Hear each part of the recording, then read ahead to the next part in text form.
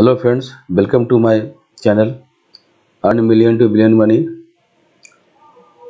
इस चैनल पे मैं कोशिश करता हूँ कि कंपनी का एनालिसिस करूँ फिनेंशियल एनालिसिस करूँ।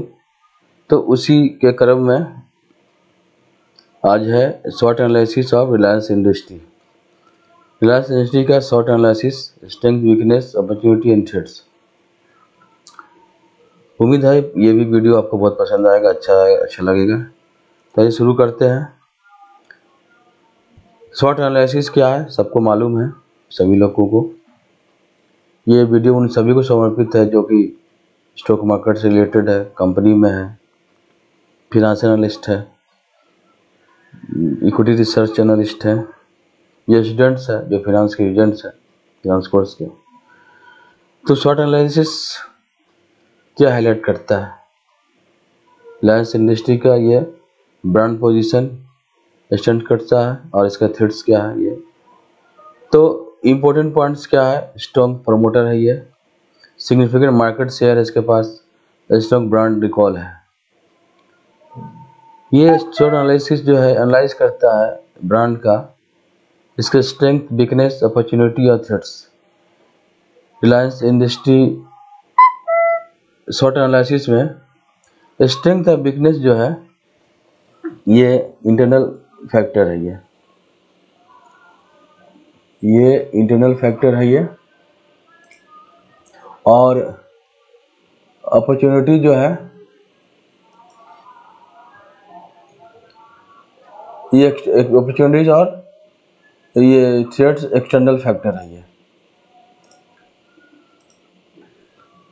ये हमारा स्ट्रेंथ का वीकनेस जो है, ये एक्सटर्नल फैक्टर्स है और अपॉर्चुनिटी थ्रेट्स ये एक्सटर्नल फैक्टर है।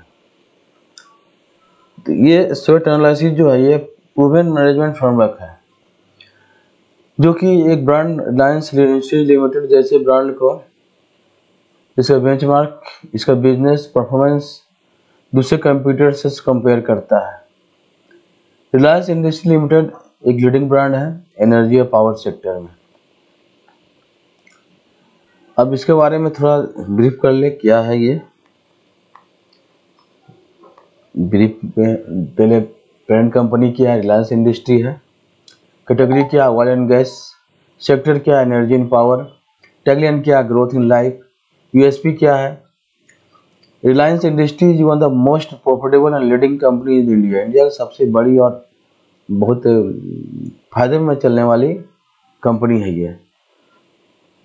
सेगमेंटेशन क्या है? Every country corporate individual need energy target market क्या है? Company need energy for production people need petrol diesel and gas for domestic purpose target market क्या है? पूरा।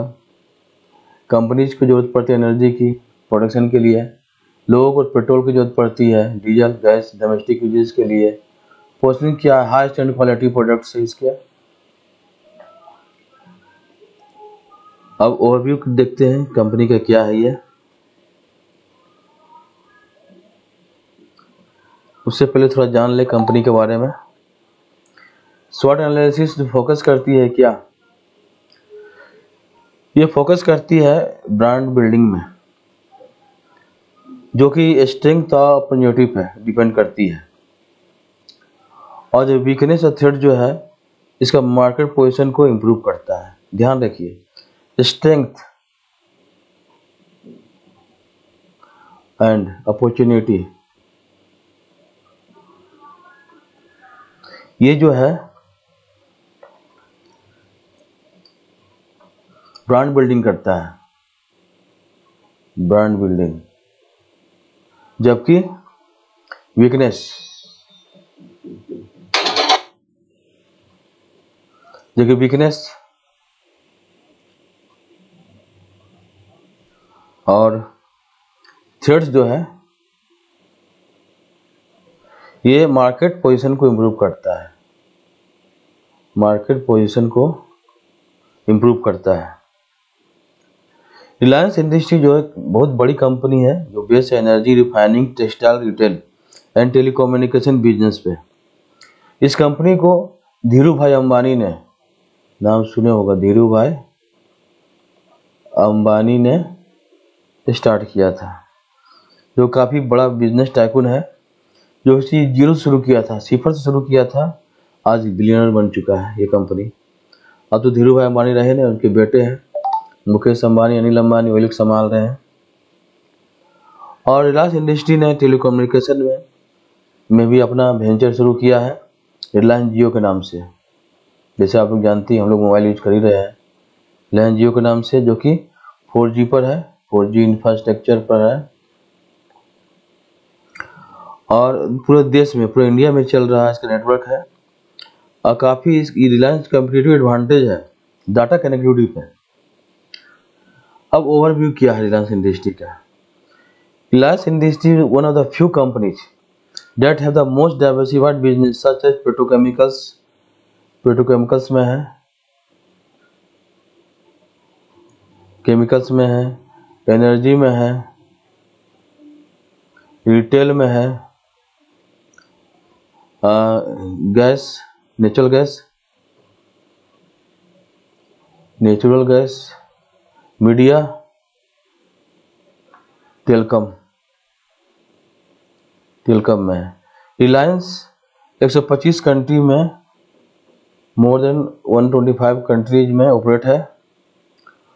और टेलकम कंपनी रिलायंस इंडस्ट्री जो है, रिलायंस जियो, वो 4G इंफ्रास्ट्रक्चर काफ़ी अच्छा एक्सलेंट इंफ्रास्ट्रक्चर है 4G का, पूरे कंट्री में, पूरे भारत में। और ये एक एज दिया गया है इसके सभी कंप्यूटर पर चाहे बी हो, चाहे भारती भारतीय एयरटेल हो या आइडिया हो, जो भी हो, ये सब इस कंप्यूटर पर काफ़ी भारी पड़ा है ये Reliance Jio four G Reliance जो है ये काफ़ी प्रॉफिटेबल लिस्टेड कंपनी है। और ये इंडिया के टॉप हंड्रेड लार्जेस्ट कंपनी में, ये top largest company in the world not India. ये 2020 के फॉर्चून 500 में 100 among between among the hundred largest company में लिस्टेड है।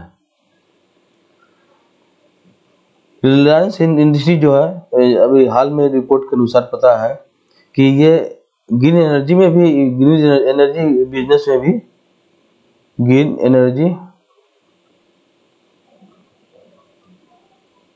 बिज़नेस में भी इंटर करने जा रही है, जहाँ पर ये 75 बिलियन डॉलर इन्वेस्ट करेगी 2025 तक।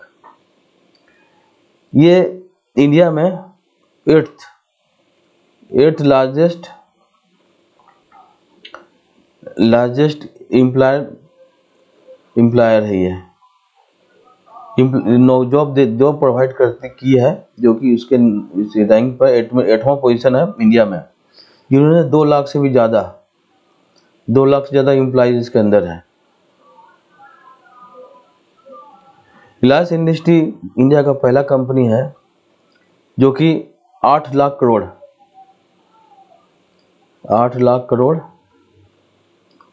जो कि यूएस मार्केट के US dollar 122.85 billion market capitalization है। जो कि 300 मिलियन कस्टमर को मार्क किया है। ये ओवरव्यू हुआ हमारा रिलायंस इंडस्ट्री का। अब आगे बढ़ते हैं। शॉर्ट एनालिसिस पे आते हैं। स्ट्रेंथ क्या इंटरनल फैक्टर शॉर्ट एनालिसिस क्या है? ये एग्जामिन करता है कंपनी का ब्यूटी या वेलनेस को। इन टर्म्स में एक्सटर्नल और इंटरनल एक्सटर्नल फैक्टर में कुछ फैक्ट इंपॉर्टेंट फैक्टर है जो ब्रांड स्ट्रेंथ करते हैं, जैसे financial position experience workforce productiveness और intangible assets like brand value तो पहले जानते हैं इसका स्ट्रेंथ क्या है पहले। स्ट्रेंथ क्या है? पहला स्ट्रेंथ है कंपनी विथ लो डेट इसके पास डेट कम है, कर्जा बहुत कम है। लो डेट ड्यूरिंग पीरियड में कोरोना पीरियड में भी, ये काफ़ी अच्छा एक्सपीरियंस किया, जो पूरी दुनिया में डार्केस्ट मोमेंट चल रहा था। रिलायंस इंडस्ट्री ने काफ़ी फंड किया। With which funding top company जैसे गूगल फेसबुक इंटेल ये सबसे इन्होंने इन्वेस्ट किया। Invest in R I L Reliance industry limited में। ये करीब कोरोना पीरियड में one point eight lakh lakh crore investment किया इसमें। जो कि इस कंपनी के लिए वरदान साबित हुआ। इसलिए उन्होंने अपने डेप्ट को पे ऑफ़ कर दिया। काफ़ी मददगार सर्विस हुआ ये इन्वेस्टमेंट जो इसने गूगल फेसबुक इंटेल वगैरह ने इन्वेस्ट किया। जिसे इसे वरदान साबित हुआ। अब दूसरा स्ट्रेंथ क्या है? Stock strong promoter the whole पूरी दुनिया जानती है कि टेस्ला, जिसका सुपरमैन प्रोमोटर एलन मस्क, वो अपने केजी थिंग्स के लिए बहुत मतलब स्ट्रॉन्ग प्रोमोटर कहा जाता है उन्हें। उसी तरह से रिलायंस इंडस्ट्री में मुकेश अंबानी को उसी तरह से स्ट्रॉन्ग प्रोमोटर कहा जाता है। स्ट्रॉन्ग प्रोमोटर जो अपने बोल्ड रिस्की मूव। और कंट्री के लिए प्यार करने वाला ये बिजनेसमैन है ये। और ये स्ट्रेंथ में गिना जाता है प्रोमोटर स्ट्रॉन्ग होना चाहिए, उसका विल पावर स्ट्रॉन्ग होना चाहिए रिस्क ले सकता हो। वैसे प्रोमोटर की आवश्यकता है बिज़नेस चलाने के लिए। अब तीसरा क्या है स्ट्रॉन्ग ब्रांड ब्रांड भी स्ट्रॉन्ग हो चुका है इसका। पहला प्राइवेट कंपनी है, जो कि फॉर्चून 500 ग्लोबल में शामिल हुआ है। ये fundamentally Reliance industry fundamentally strong company है। ये मैटर नहीं करता है कि किस सेक्टर में ये।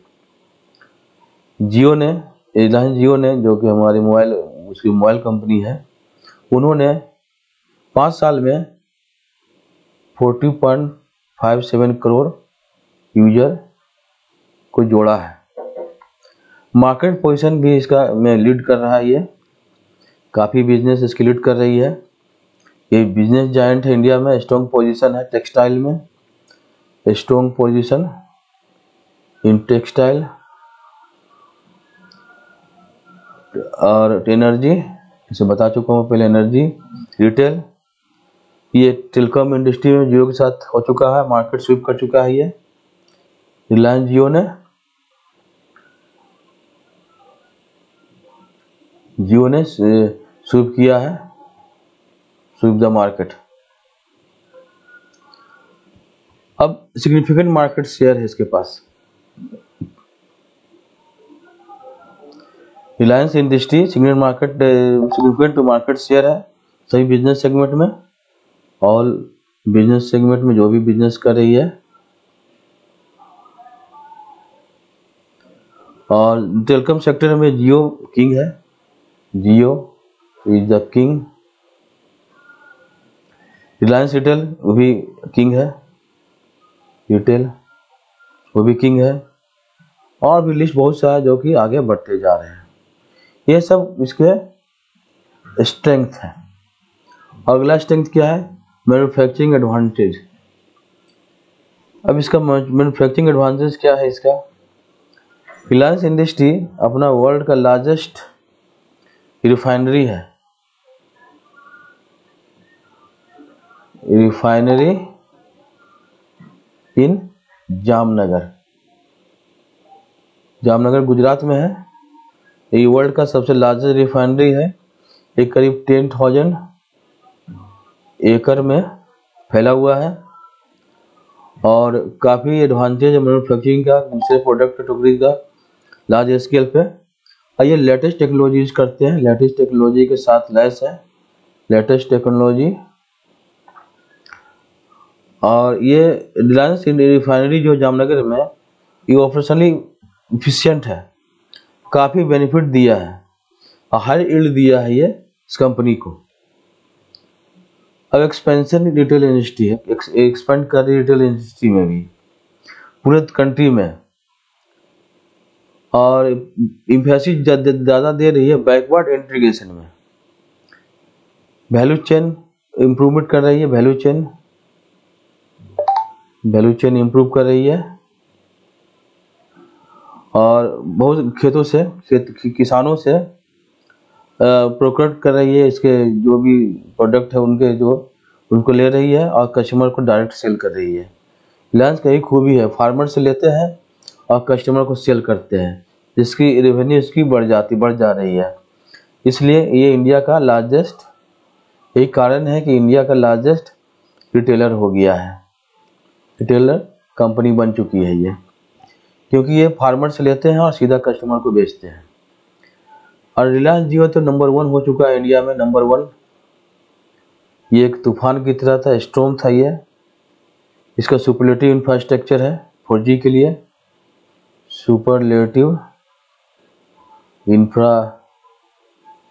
स्ट्रक्चर फोर फोर जी ये फाइव जी के लिए भी काम कर रही है नेटवर्क चालू शुरू कर दिए नेटवर्क बनाने के लिए। ये पूरे इंडिया में, देश में कंपिटेटिव एडवांटेज क्रिएट किया है। ये जियो रिलायंस जियो रिलायंस को मदद किया है इसके ब्रांड इमेज में। और ये पॉपुलर ब्रांड बन गया है। ये पॉपुलर ब्रांड बन गया है। अब इस तरह से देखते हैं स्टिंग जो है, रिलायंस इंडस्ट्री का, काफ़ी अच्छा है ये।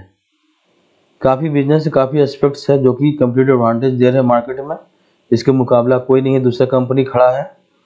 ये बिगेस्ट प्लेयर है। बिगेस्ट प्लेयर है इंडिया में। स्ट्रॉन्ग ब्रांड नाम के साथ। एक्सलेंट फिनेंशियल पोजीशन भी है। एक्सीलेंट फिनेंशियल पोजीशन और काफ़ी प्रॉफिट प्रॉफिट प्रॉफिट में चल रही है, स्ट्रॉन्ग प्रॉफिट है ये इन कंपनी के पास। ये प्रॉफिटेबल कंपनी है। बहुत कम कंपनी है जो फोर्बिस स्ट्रॉन्ग एडवर्टाइजिंग कंपनी में फीचर होती है और मार्केटिंग थ्रू टीवीसी के द्वारा प्रिंट ऑनलाइन एड्स बिलबोर्ड्स के द्वारा होती है। रिलायंस ने अपने काफ़ी से अवार्ड जीते हैं, काफ़ी अवार्ड जीते हैं। और ये इसका फोकस है होलिस्टिक ग्रोथ का। होलिस्टिक ग्रोथ तो आल्सो ये ये कॉर्पोरेट कॉर्पोरेट सोशल रेस्पॉन्सिबिलिटी में भी कार्यरत एक्टिव है ये। रेस्पॉन्सिबिलिटी ये जैसे पार्क बना देती है, रोड बना देती है, कुछ जो पब्लिक के लिए यूटिलाइज हो तो ये सी में भी बढ़ी हुई है, बढ़ रही है आगे। तो ये स्ट्रेंथ हुआ रिलायंस इंडस्ट्री का। अब बढ़ते हैं वीकनेस ये भी इंटरनल फैक्टर है। वीकनेस क्या है? वीकनेस क्या होता है? एक तरह से एस्पेक्ट होता है बिज़नेस में, जो कि इसको पोजीशन इंप्रूव करने के लिए इसको खोजा जाता है कि क्या वीकनेस है पॉइंट किया जाता है। कुछ वीकनेस जो होते हैं वो एट्रीब्यूट होते हैं, जहाँ कंपनी लाइक करते हैं तो उसको मौका मिलता है कि अपने कंप्यूटर से आगे बढ़ सके। तो उसमें क्या है प्रोडक्शन डिक्लाइनिंग हो रही है अभी। गैस प्रोडक्शन दो मेजर बेसिन से दो मेजर प्लांट्स है, जैसे के जी डी सिक्स और ताप्ती। फ़ील्ड से। ये कुछ नेचुरल और ऑपरेशनल चैलेंजेज आ गए थे, जिसके वजह से ये दोनों प्लांट्स में प्रोडक्शन डिक्लाइन हो गया, कम हो गया था। जिसकी वजह से ये सप्लाई ऑपरेशनल मार्जिन में अफेक्ट पड़ा है।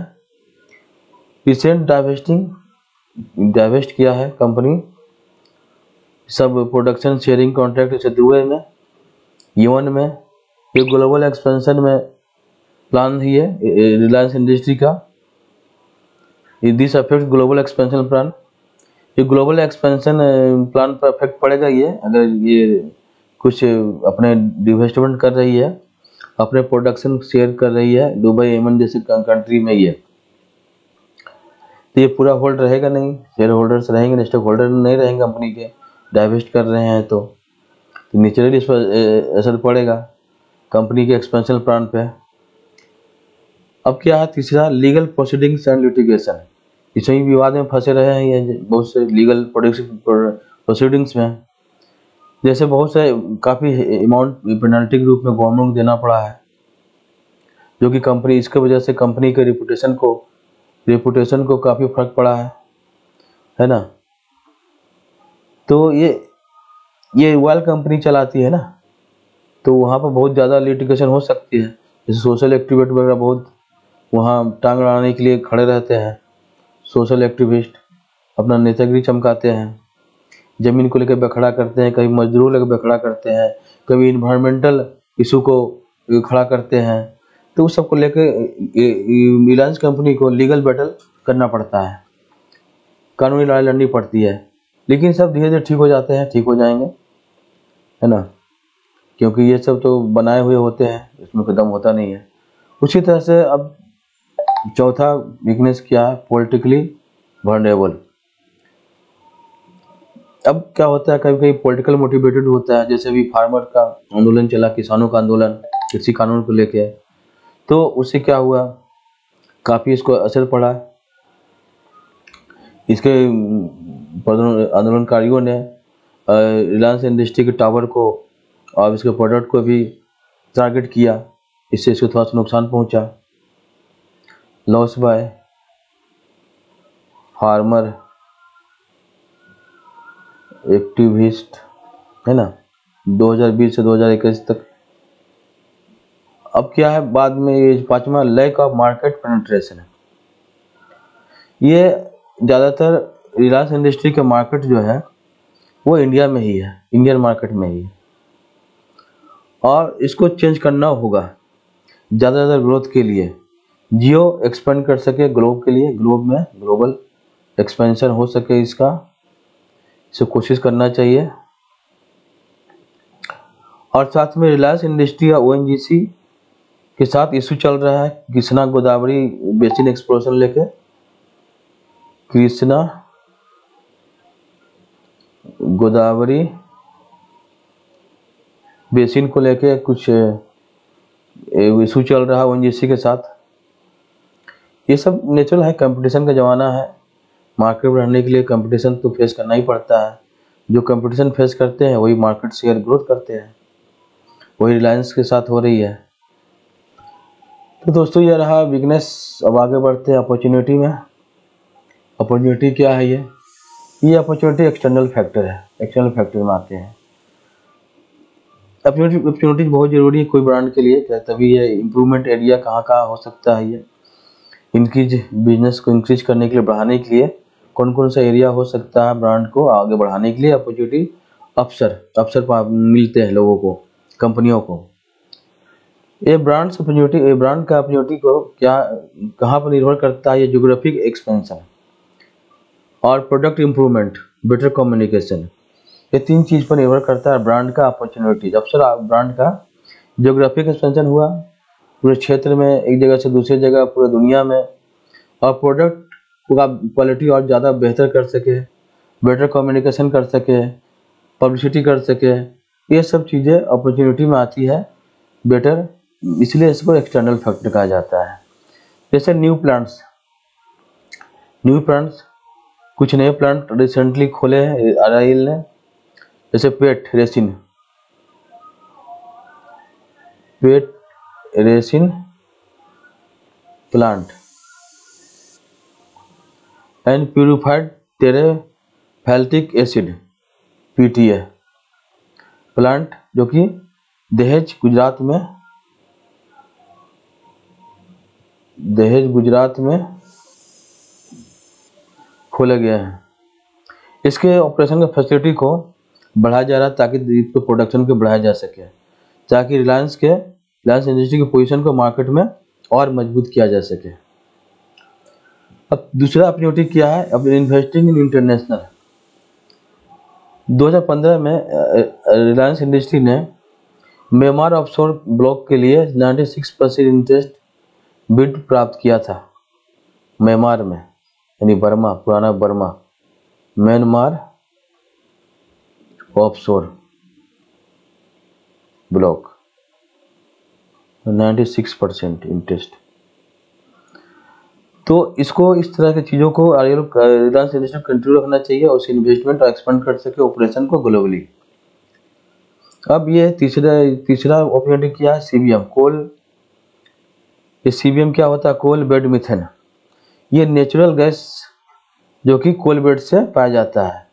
कोल बेड से पाया जाता है। ना कोल बेड मिथेन। है ना?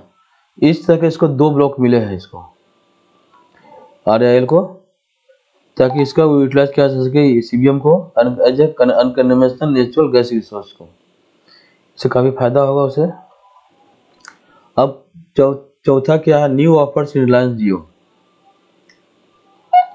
Reliance Jio Mukesh Ambani का पेड प्रोजेक्ट रिलायंस जियो ये नेशन का लार्जेस्ट टेलीकॉम नेटवर्क है।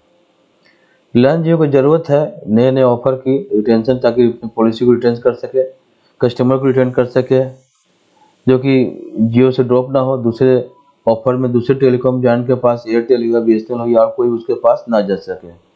इसलिए रिलायंस जियो को, मुकेश अंबानी को ये करना होगा कि वो नए नए ऑफ़र करे, जो कि आप ही लाभदायक हो कस्टमर के लिए, आपने कस्टमर को रिटर्न कर सके, एक रिटेंशन पॉलिसी बनानी चाहिए।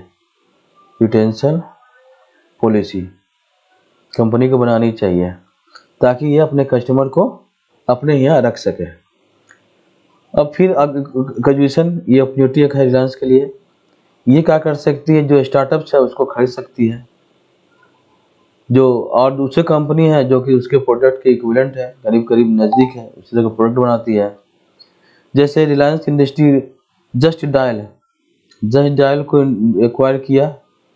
जस्ट डायल को एक्वायर किया, इसको जियो मार्ट के साथ इंटीग्रेट कर दिया, ताकि इसका प्रजेंस रिटेल सेक्टर में बढ़ सके। रिटेल सेक्टर में इसका यूटिलाइज कर सके जस्ट डायल को।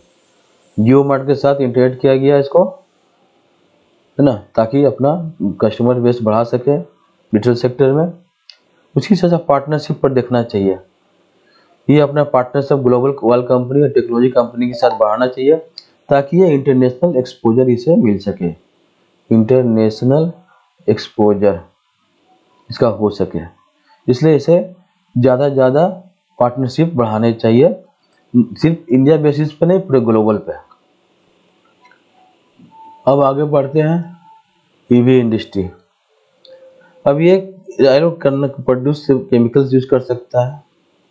बैटरी, जो कि बहुत आसानी से उसके लिए है। ऑलरेडी पेट्रोल केमिकल सेक्रेटरी में है सेक्टर में है ये। Reliance industry petrol chemical sector में ऑलरेडी है। तो केमिकल यूज़ कर प्रोड्यूस करना चाहिए, इसे केमिकल उसे केमिकल प्रोड्यूस करना चाहिए, जो कि बैटरी में यूज़ हो सके। जो कि उसके लिए काफ़ी आसानी है, क्योंकि इसके पास पेट्रोकेमिकल सेक्टर है ही है। पेट्रोकेमिकल सेक्टर ऑलरेडी इसके पास है। अब क्या करना है? इम्प्रूविंग जियो जियो को इम्प्रूव करना होगा। रिलायंस को बहुत सा इशू है फिक्स करना होगा उससे, ताकि इम्प्रूवमेंट हो सके और कॉमन बक्स को अवॉइड कर सके, जो कि पूरे इंडिया से उसे मिल रहे हैं। डिमांड पेट्रोलियम प्रोडक्ट्स डिमांड बढ़ते जा रहे हैं, जो काफ़ी बड़ी ह्यूज अपॉर्चुनिटी रिलायंस इंडस्ट्री के लिए। बायोट ऑफ़ कंपटीशन है काफ़ी। उसी में अपने पोषण बनाने के लिए बायोट करना चाहिए इसे। नंबर ऑफ़ इंडस्ट्री बढ़ाना चाहिए। कार्स कार इंडस्ट्री में भी काफ़ी अपॉर्चुनिटी है पोटेंशियल ग्रोथ के लिए। उसमें भी इसे जाना आजमाना चाहिए। ग्लोबल ऑयल कंपनी के लिए भी टाइप होना चाहिए। और रिलायंस इंडस्ट्री के भी जो बिज़नेस को बूस्ट कर सकता है। Type with global oil company के साथ टाइप करना चाहिए? अपने एनर्जी को बूस्टअप करने के लिए। अब चौथा है थ्रेड्स ये भी एक्सटर्नल फैक्टर आता है। अब थ्रेड्स क्या होता है बिज़नेस के लिए? जो एक नेगेटिवली इम्पैक्ट करता है बिज़नेस पे। कुछ फैक्टर्स जैसे कंप्यूटर का एक्टिविटी इंक्रीज कर बढ़ जाना गवर्नमेंट पॉलिसी में चेंज करना, जैसे कंप्यूटर कंप्यूटर का एक्टिविटी बढ़ाना गवर्नमेंट पॉलिसी पॉलिसी चेंज करना, फिर अल्टरनेट प्रोडक्ट क्रिएट कर प्रोडक्ट करना अल्टरनेट अल्टरनेट प्रोडक्ट बनाना या सर्विसेज़ देना, ये सब थ्रीट्स में आते हैं। तो इन सबसे बचने का उपाय करना चाहिए रिलायंस इंडस्ट्री को।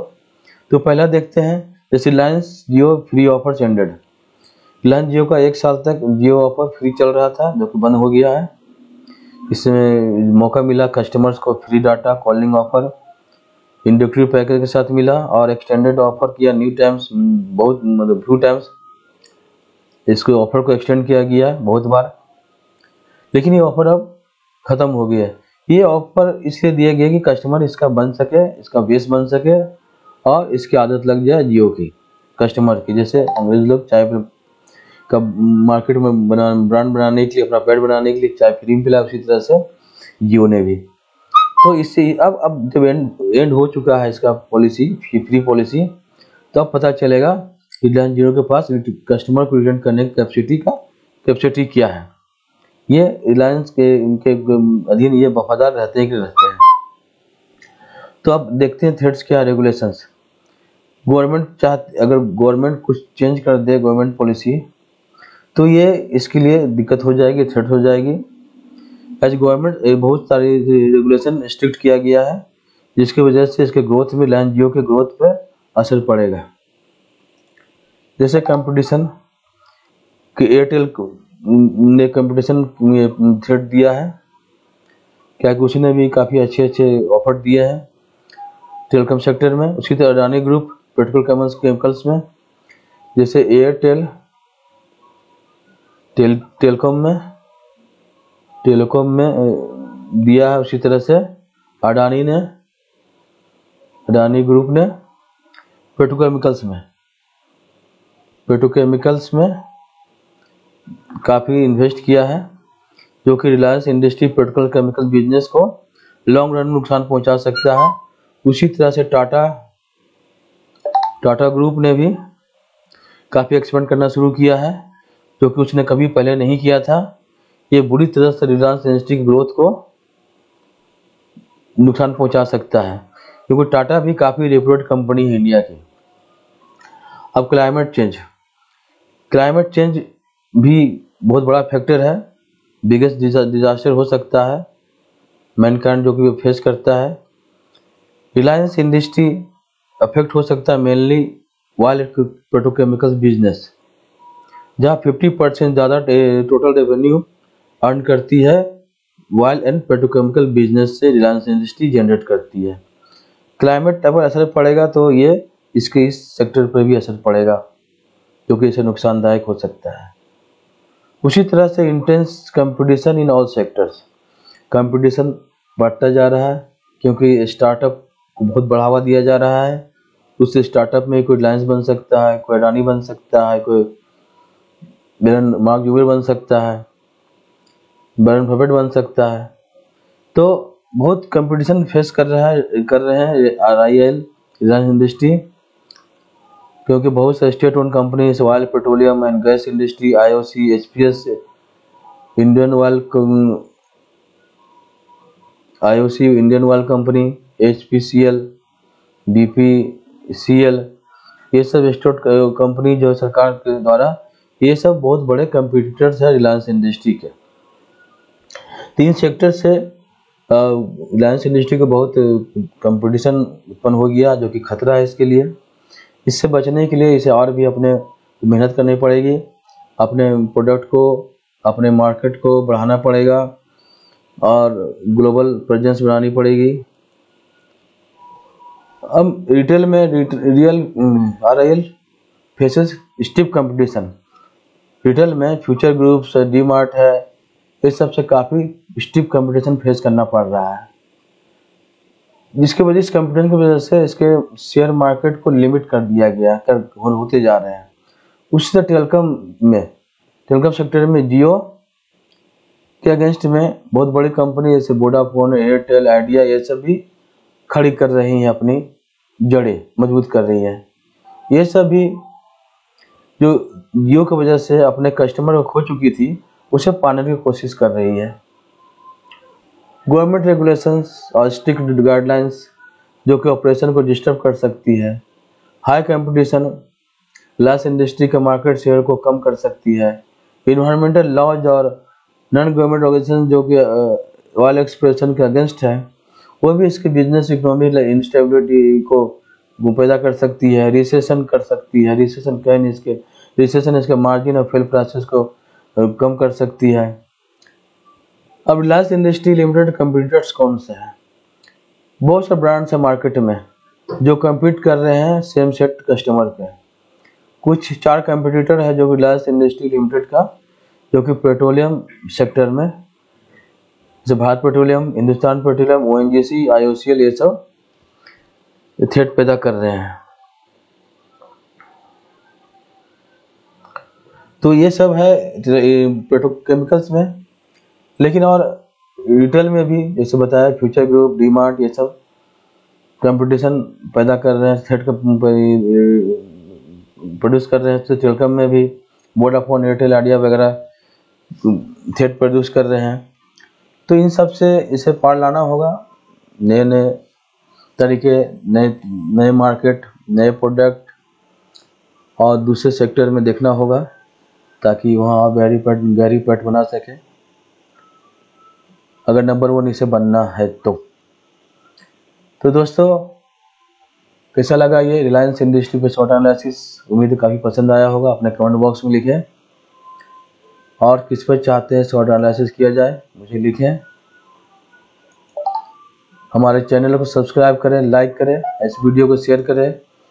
बेल बटन प्रेस करें, दबाएँ, ताकि हमारा वीडियो का नोटिफिकेशन आप तक पहुँच सके। बहुत बहुत धन्यवाद इस वीडियो को देखने के लिए। मिलते हैं अगले वीडियो में फिर। ओके